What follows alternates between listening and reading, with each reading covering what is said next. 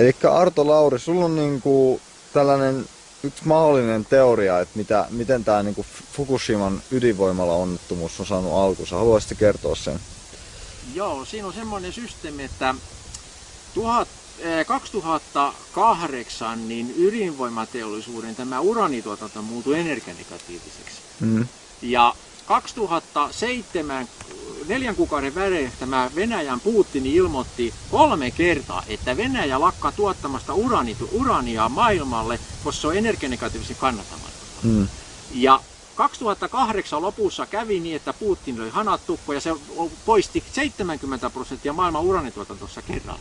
Mm. Ja Euroopassa ei ymmärretty sitä, että Putin on puhunut niin vakavissa tätä systeemi. Ja siitä tuli semmoinen systeemi, että niin nämä uranin käyttäjät olivat ihmiset, mistä tehdään urania. Mm. Areva ilmoitti, että heillä on räjähtäneet Sellafiiri ja Superfelix ja Japanin hyötyreaktorit jäljitä valtavat määrät tätä START-sopimuksessa eh, ylijäänyttä uranipolttoainetta. Siinä oli vaan sellainen vika, että siinä oli 3,5 prosenttia tätä urani 235 ja 6 prosenttia plutoniumta. Mm. Henkenvaarallinen aine.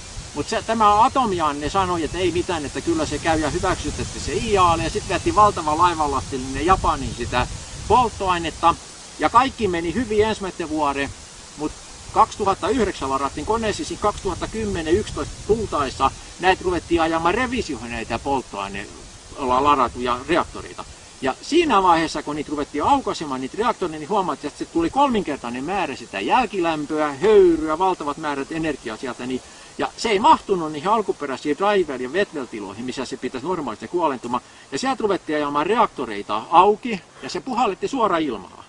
Ja siitä tuli sitten semmoinen reaktio, että niin, näitä voimaloita ruvettiin aukaisemaan, revisio eteni eteni, niin aina nousi Japanin yläpuolella oleva tämä ionisaatiotaso ylöspäin. Sitten tämä NATO ja IAEA, mikä kontrolloi tätä yläilmakehän ionisata, niin sinne tuli hälytys, että Japanin päällä säteilytaso nousi valtavan paljon. Ja sen jälkeen ruvettiin vetämään Chemtraderilla kauhia määrä sitä uranipaska sinne alas, että se säteilytaso nousi ihan räjähtämispisteestä, ettei typpikehä räjähdä palaamaan. Se ei riittänyt. Siinä vaiheessa, kun huomattiin, että se ei riittänyt, sitä ajettiin kaksi ja puoli päivää sen jälkeen ennen Fukushimaa, niin ajettiin niin kiinalaisten ja venäläisten tietojen mukaan ajettiin haarpilla sinne. Tuhannen megawatin koneella ajettiin yläilmakehä valtavat määrät energiaa, mutta ne pöllö ei tajunnutkaan sitä, että sieltä ydinvoimalla tuleva se ionisaatiopilvi, niin se toimii niin kuin rautanaulana maaruttaen kaiken se energia maaperään. Mm. Ja sieltä se meni sinne kallioperähän, se energia, kun se oli muutaman päivän mennyt, oli kaksi ja puoli päivän mennyt, niin sitten tämä maaperässä olevana kvartsikität, niin ne on piazzoaktiivisia. Ne rupeavat värähtelemään ja kun se rupeaa värähtelemään se kallioperä, niin silloin se muutui epävakaksi. Eli se tektoninen sauma, mikä on siellä Japanin alla, niin alkoi liikkua. Mm. Ja siitä sitten tapahtui semmoinen systeemi, että, että tuo noin, niin se tektoninen sauma laukesi ja se synnytti sen hyökyaallon.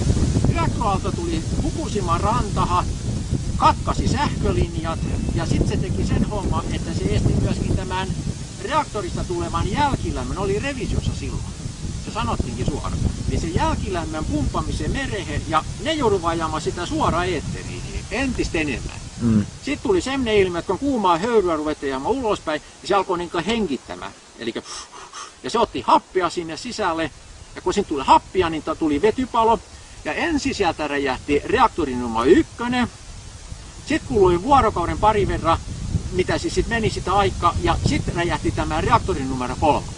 Joo. Tässä vaiheessa tapahtui sitten semmoinen ilmiö, että kun se kallioperä se oli tektonisesti niin aktiivinen jo, ja sieltä tuli kolauksia, kun ne atomivoimalat räjähti. Sehän oli puolen kilometrin patsas, mikä sieltä kolmosesta läksi Joo. No se antoi kauhia sykli sinne alakertaan, ja kun tuli lisää voimaa, niin siellä tapahtui sitten semmoinen ilmiö, että siellä Japanin kahden kilometrin syvyydessä on tätä metaanikaasuplatrautta, mikä jäämuodossa oleva metaania. Ja se perustuu siihen painetasapainoon. Se on hyvin herkkä tasapaino. Se on kahden asteen lämpötila, missä se juuri juuri pysyy kasassa.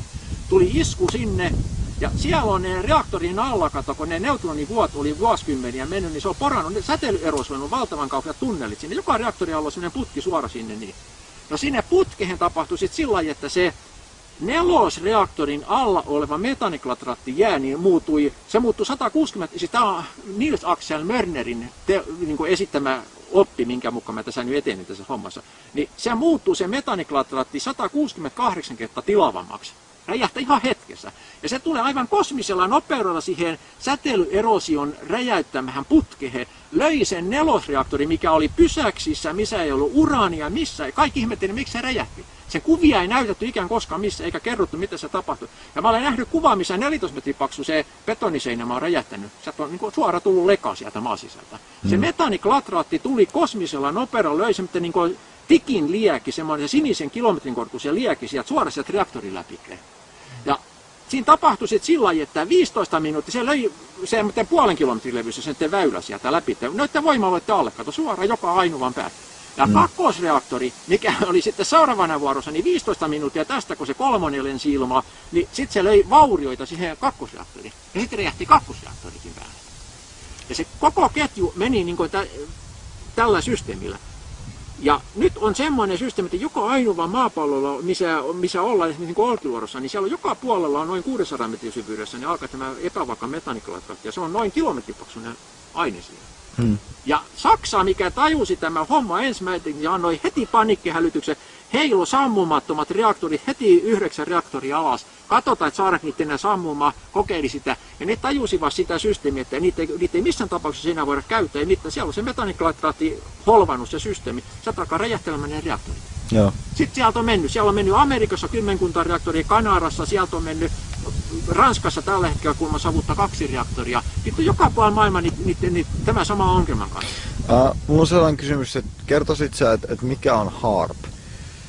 HARP on käytännössä mikroaaltouuni, mikä lähettää niin mikroaaltotaajuuksia. Tämä oli se nyt alte 3 MHz, semmoista sama mitä meidän mikroaaltouunissa on, kato. Joo. Harpin perusidea on aika yksinkertainen, eli se on niin mikroaaltouuni aukasta ovi seljällä, se ajetaan kaikki eetteriin.